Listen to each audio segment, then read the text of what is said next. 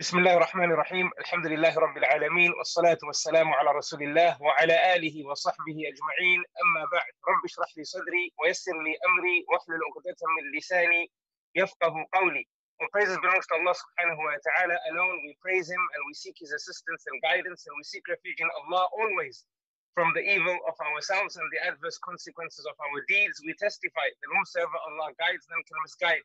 And whomsoever He misguides, then none can guide. And we request praises and blessings upon the final messenger, Muhammad ibn Abdullah sallallahu alayhi wa sallam. I bear witness that there's no one worthy of worship besides one Allah and that Muhammad sallallahu alayhi wa sallam is His messenger to my dearest brothers and sisters in Islam who are probably um, going through lockdown, subhanAllah, this is um, the period of the coronavirus, Allahu Musta'an. Um, I mentioned this perhaps uh, several years from now, this video will be, will be looked at and uh, this particular lecture will be lumped with uh, the lectures given during uh, one of the most difficult, if not the most difficult uh, periods of our generation, and Allah subhanahu wa ta'ala knows best. So I pray um, that this broadcast, whilst we are in lockdown, reaches you all whilst you are in the best of health and the highest of Islamic spirits. And I pray that inshallah you are taking the necessary precautions and may Allah subhanahu wa ta'ala keep one and all safe. And if anyone is listening in whilst they are in isolation because they are ill, then may Allah subhanahu wa ta'ala shower upon you all um, a beautiful cure, a complete cure. Ameen, Ya Rabbil Alameen. And if any of us um, have experienced any losses, subhanAllah, because this virus uh, is taking lives with the permission of Allah subhanahu wa ta'ala, then may Allah subhanahu wa ta'ala shower mercy upon uh, those who have passed away and make their, their graves a garden from the gardens of, of Jannah. Ameen, Ya Rabbil Alameen. Um, just yesterday, um, a wonderful man who um, reached the age of 85 years of age uh, passed away. And he taught me um, when I was around uh, 12 years of age, I was in an institute in Harare, Zimbabwe, known as uh, the Islamic Cultural Institute. And I studied there from the ages of 6 to 12, learning Islamic studies. And he was the principal of the madrasa, and he uh, taught the final year and he taught me for an entire year in, in, in 1995, uh, around this period. And subhanAllah, uh, he passed away suddenly. Uh, he started experiencing breathing difficulties uh, last Thursday evening, early Friday morning. And on the way to the hospital, he passed away. And um, in the UK, in Manchester. And upon them um, running tests to discover the cause of death, they found out that he was positive for COVID 19, subhanAllah. So he is a, a teacher of mine uh, someone who was instrumental in my formative years, uh, who has returned to Allah subhanahu wa ta'ala because of uh, this virus. And we ask Allah subhanahu wa ta'ala to grant him the status of martyrdom. Ameen Ya Rabbil Alameen, because anyone who passes away through this particular virus, we hope for them the status of, of shahada, the status of martyrdom. So anyone who's passed away or anyone who we know who has passed away, we ask Allah subhanahu wa ta'ala to shower upon them um, a grave which is a garden from the gardens of Jannah, them and all the Muslims who have passed away. May Allah subhanahu wa ta'ala preserve us in His obedience. Ameen, Ya Alameen. Brothers and sisters in Islam, today's talk is titled My Sincere uh, Advice to You All. And it's purposely structured and titled this way because today's topic is dedicated to the first part of the testimony of faith when we say, La ilaha illallah. La ilaha illallah, which means La ma'buda bihaqin illallah, which means there is no one worthy of worship besides one Allah. This is what today's talk is dedicated to. Now, brothers and sisters in Islam, uh, don't be mistaken. This uh, discussion, the discussion in relation to the first half of, the, of our article of faith, our testimony of faith, requires not hours, not days, but rather weeks and months of a detailed study. This is how deep the reality is with regards to the first portion of our testimony of faith. For we know very well, brothers and sisters in Islam, everything in existence exists because of La ilaha illallah. There is no one worthy of worship besides one Allah. And I highlight this reality so that no one feels that the topic is a small one, it's a brief one. Why? Because today, inshallah, we're going to be discussing it in uh, around 30 minutes or so. Because brothers and sisters in Islam, all we can do in a, in a talk that spans an hour or spans 30 minutes or anywhere between 30 minutes and an hour is touch on an angle from the angles of La ilaha illallah. Right? Now, someone might say, or some people do say, uh, and definitely before uh, this pandemic and in, in, certain countries, an epidemic that we are experiencing today, that subhanAllah, you know, we keep hearing about La ilaha illallah, we want to hear about something else. We know what La ilaha illallah means, we know about La ilaha illallah. And my answer to them in response to them is, but do we truly know what La ilaha illallah is?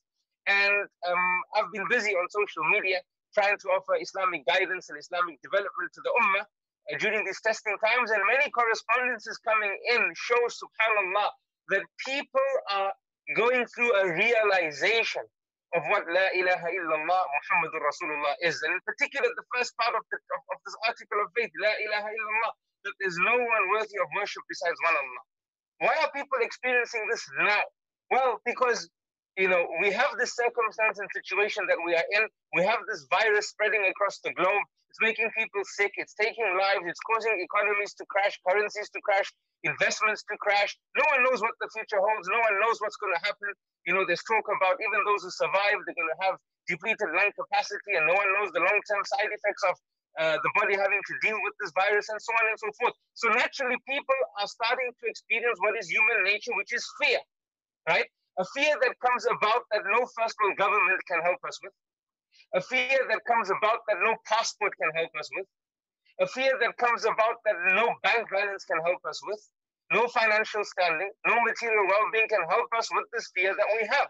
And then we say, SubhanAllah, suddenly we realize that we've been living our lives thinking that we understood La ilaha illallah, but perhaps we didn't really understand it the way it deserves to be understood perhaps we didn't really uh, appreciate its reality. That subhanAllah, maybe we felt safe in our homes and in our cities and in our countries, not because truly of La ilaha illallah, but because of the safe system around us, because of having a government, for example, that has a strong political presence in the world, because of a foreign policy, for example, that has a, strong value in the world, because of a strong currency, for example, that many people are in need of, and we don't fear it uh, uh, uh, losing its value and inflation overcoming it. For example, all of a sudden, subhanAllah, these realizations come to us. And time and time again, I've been saying a calamity that brings you closer to Allah is better than a blessing that takes you away. And this was the statement of Ibn Taymiyyah, rahimahullah.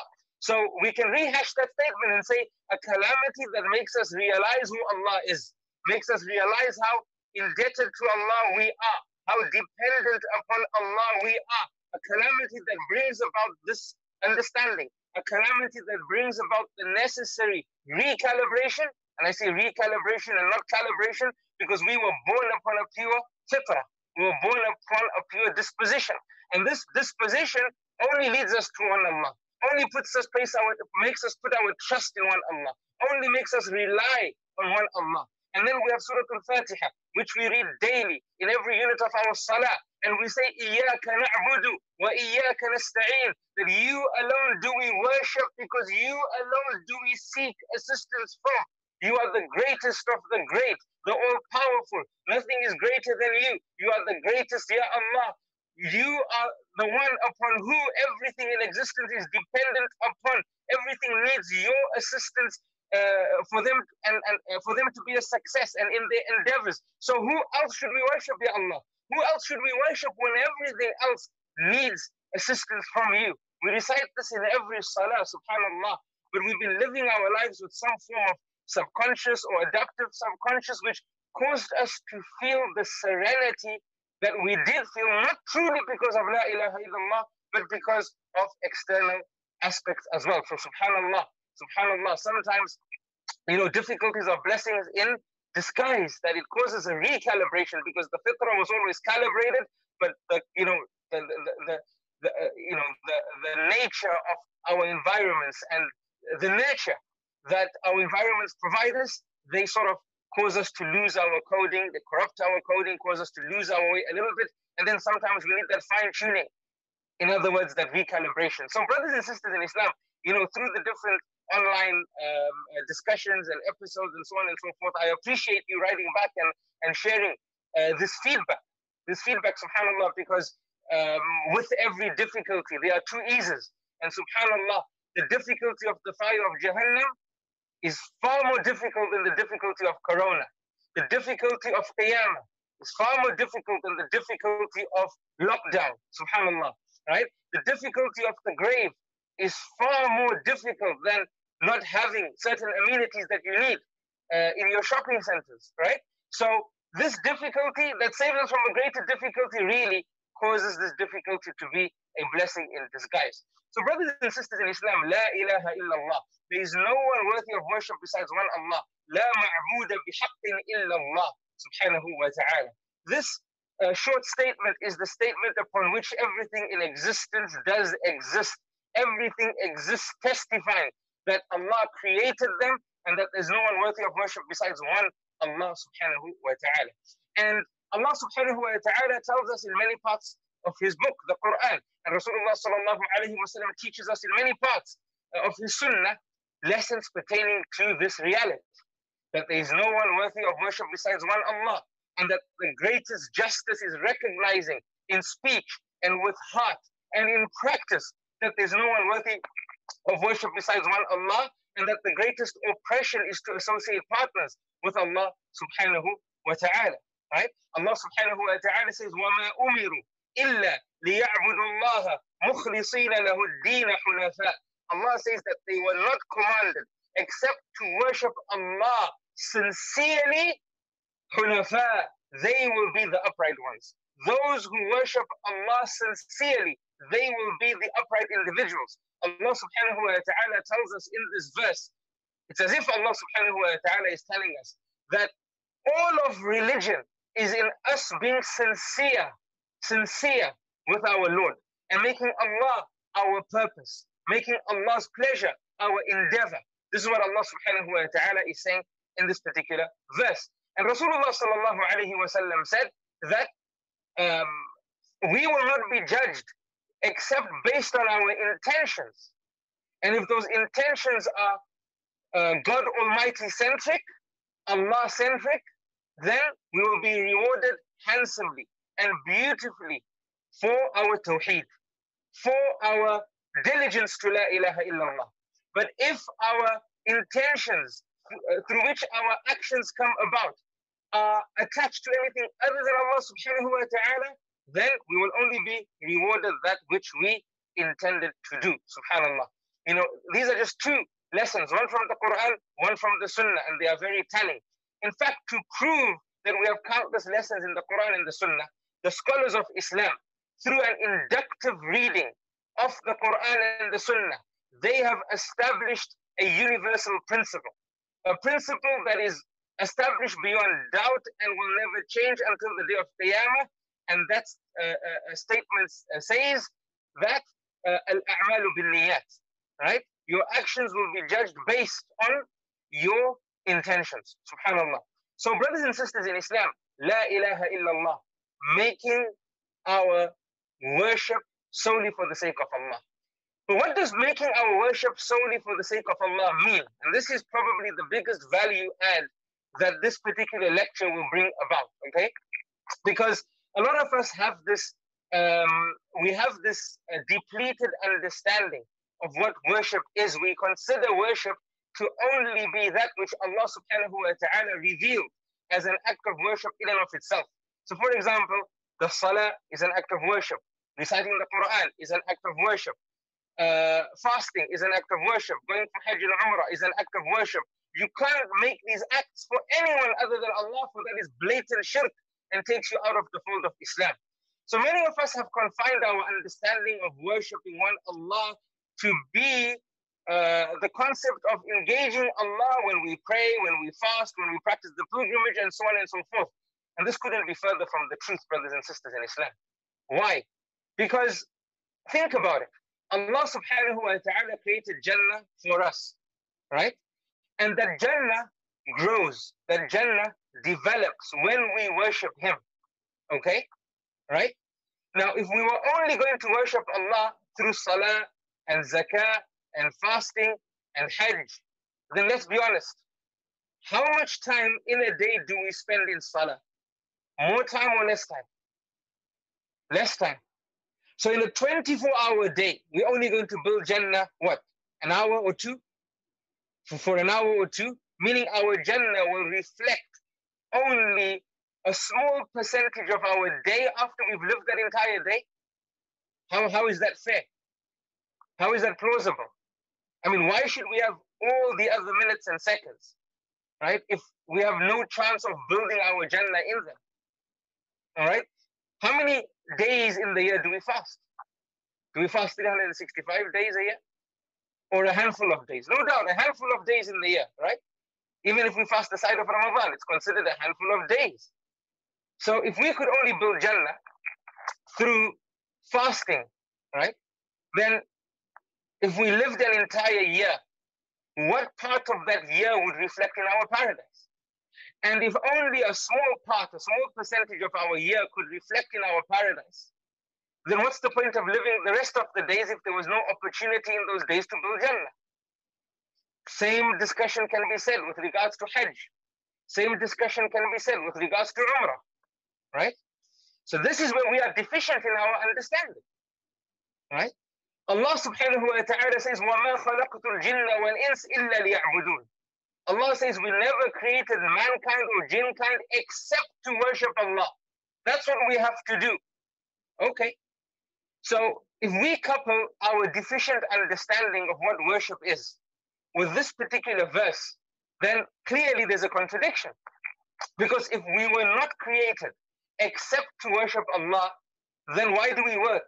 Why do we get married? Why do we raise children? Why do we need to earn? Why do we have bills to pay? Why do we do this? Why do we do that? Why do we do all the other stuff?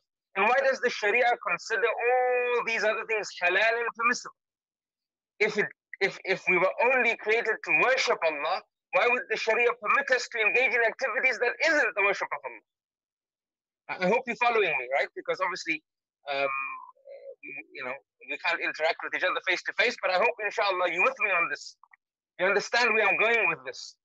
And subhanAllah, if we could only worship Allah through salah and Quran and fasting and hajj and umrah and a handful of activities, then you know why do we get married and have children and work and do careers and so on and so forth when and Allah only created us to worship Him and worship is a handful of things. The answer to that question, brothers and sisters in Islam, is that the worship of Allah subhanahu wa ta'ala entails the following. Number one, acts of worship that are considered worship in and of itself. Because Allah revealed it as an act of worship. Okay? That's number one. But also from worship, and this is number two, also from worship are the mundane activities of life. The mundane activities of life that through our intention we convert, we convert into an act of worship. Subhanallah. Subhanallah. Now this is where we are, this is where we, we, we find ourselves lacking. Right? So what are mundane activities of life? Going to work, for example. many people go to work, so what are you doing? Say, I'm working. Right? I got work. Some people say, oh, I have to go to work. Uh, we are we are, we we locked down now, right? People are saying, Subhanallah, working from home is so difficult, right? Or some people are. Inshallah, for the for the most of us, it isn't. Right? But some people are. Working from home is so difficult. But look, here you go. People consider themselves to be working, not worshiping. Right? When you go on a holiday, I'm going on a holiday. People consider themselves to be going on a vacation, not a worship. Right? When you go to the gym, I'm going to train. People consider themselves going to train, not going to worship. Why? Because they don't convert the mundane activities of life into an act of worship so that their 24 hour day can become an act of worship. Their 24 hour day can become filled with acts of worship, which are direct acts of worship in and of themselves and carry greater reward, as well as acts of worship which they have converted into acts of worship through their intentions, which makes those acts qualify to receive a share of rewards as well. Thus making them 24 7 Jannah builders. 24 7 Jannah builders, thus making them live Jannah centric lives. Think about it. Imagine you could build Jannah whilst you sleep, whilst you eat, whilst you on that meeting, right, with your office. You can build Jannah whilst you run on the treadmill, right? Whilst you catch a plane for a vacation, right? Whilst you put your phone charger in the socket. Subhanallah. That can also become a Jannah building exercise. Whilst you cook a meal for your family or bake a cake. Any little act can become a Jannah building exercise if we convert it into a Jannah building exercise. And this brings me to the next part of the discussion. How do we convert the mundane activities of life into a Jannah building exercise? And this happens, brothers and sisters in Islam, through our intention, the niyyah.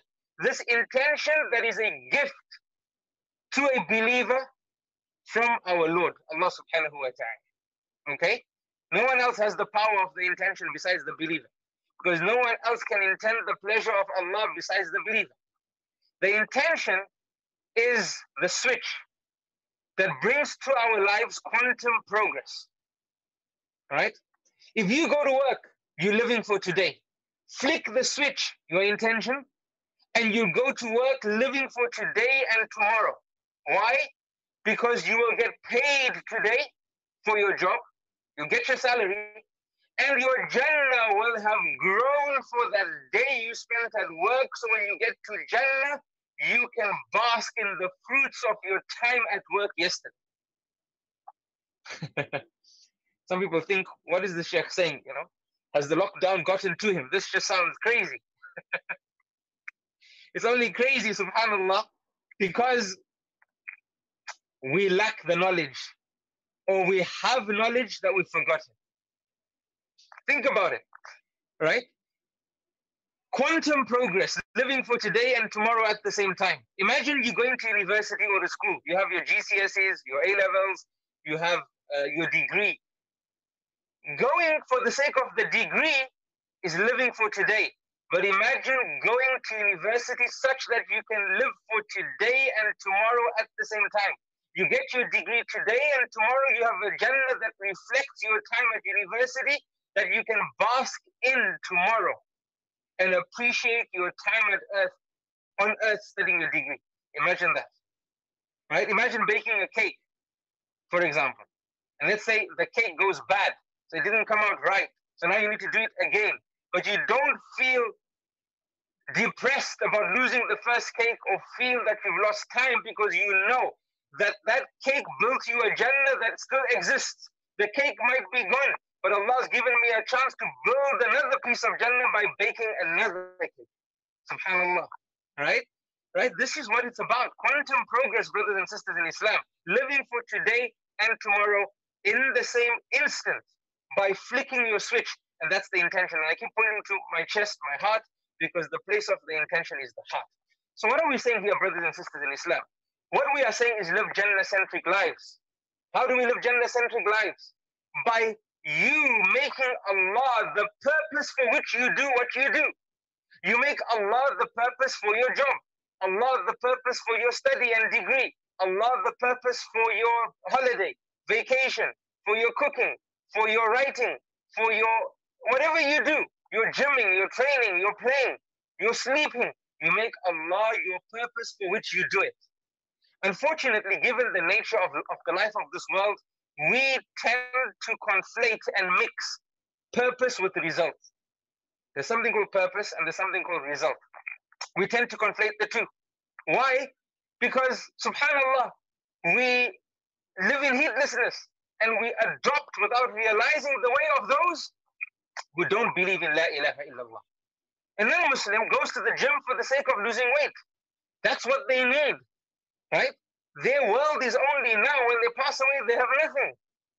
Right? So losing weight is, is everything. It's the ultimate goal. And then Muslim goes to university for the degree. That's the ultimate goal. There's nothing else after the degree besides the job. So then they go into university for the job. That's worldly centric, not paradise centric. But that's because their paradise is the life of this world. Subhanallah. Right?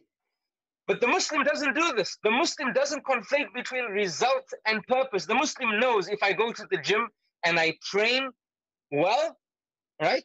The result of it is I will lose weight, but that shouldn't be the purpose for why I go to the gym. The purpose why I go to the gym is because Allah loves me to look after this body which He gifted. By me going to the gym, I'm showing Allah that I'm looking after this gift. My purpose for going is Allah. Losing weight is the result. Getting fit is the result. And the result is universal. It will always happen. If you go to the gym regularly, diligently, you will lose weight. Even if you intend to do it for the sake of Allah. Right? The treadmill is not going to say, brother or sister, listen, today your calories don't count. You haven't lost any weight. Why? Because you were running for the sake of Allah. It's not going to say that. No one can change that. The result of, of, of exerting yourself is that you burn calories. The result of studying well is you get a degree. The result of working well is you're going to get your salary. Your boss is not going to say, well, you work for the sake of Allah, so no salary today. Tell Allah to pay you. Allah is going to pay you anyway, right? But it's a result. You are going to get paid. So why do you want to go to work to get paid when you can go to work to build Jannah and the pay is something that is a universal truth? It's going to come anyway. Does that make sense, brothers and sisters in Islam?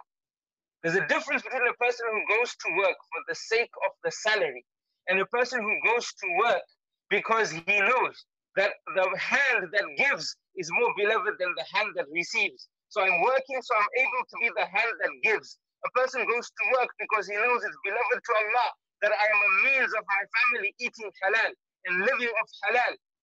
This is pleasing to Allah, so this is why I go to work. Right? There's a difference between a person who goes to university for the degree and a person who goes to study medicine because they know from the most beloved people to Allah are those who are more beneficial to the people. So I want to benefit the people by looking after their health. So I'm studying medicine so I can be from the most beloved to Allah. There's a difference. And you're still going to get the degree, just like the non-Muslims who didn't intend Allah are going to get the degree. But what did you do? You lived for today and you lived for tomorrow at the same time. Because you're a Jannah builder. Your life is Jannah centric. Why? Because you truly understand La ilaha illallah. There is no one worthy of worship besides one Allah. You truly understand it and you live it every day. When you sleep, you don't sleep for the sake of merely getting energy, but you sleep so you can wake up to worship Allah even better. So that sleep becomes a means of trees being planted for you in Jannah and streams being dug for you in Jannah, right? And palaces being built for you in Jannah. Yes, whilst you sleep, brothers and sisters in Islam. Imagine that. You can build palaces that no eye has ever seen, no ear has ever heard, no mind has ever dreamt of, whilst you sleep. So this is the lesson of La ilaha illallah. This is the, the sincere advice that I have for you all. Make your life sincerely for the sake of Allah from the beginning of your day to the end of your day. Fill your, fill your day with acts of worship that are acts of worship in and of themselves and acts of worship that you convert into an act of worship through making your purpose Allah subhanahu wa ta'ala and His pleasure. This is the lesson for today, my dearest brothers and sisters in Islam. Indeed, khairul kalami ma wa dal. Right? They say that the best speech is that which is short and sweet, short, short and to the point.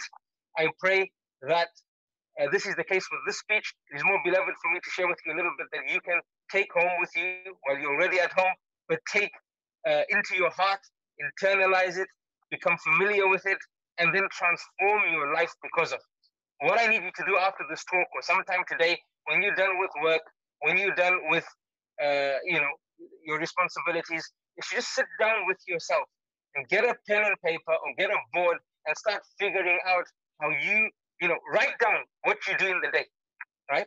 And then split it up. What percentage of my day is filled with mundane activities? What percentage of my day is filled with activities that are worship in and of itself? Okay?